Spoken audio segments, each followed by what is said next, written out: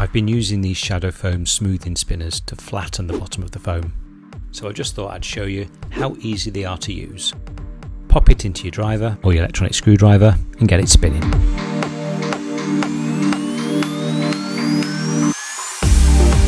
And then just move it along the area you want to flatten. It will get rid of all those lumps and bumps. You get two spinners in a pack, one 18mm and the other 30mm.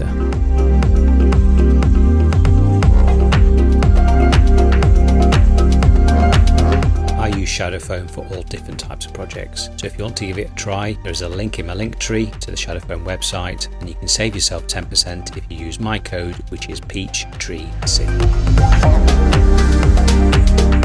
Like, follow, and subscribe for more content like this.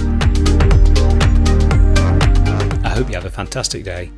Love you.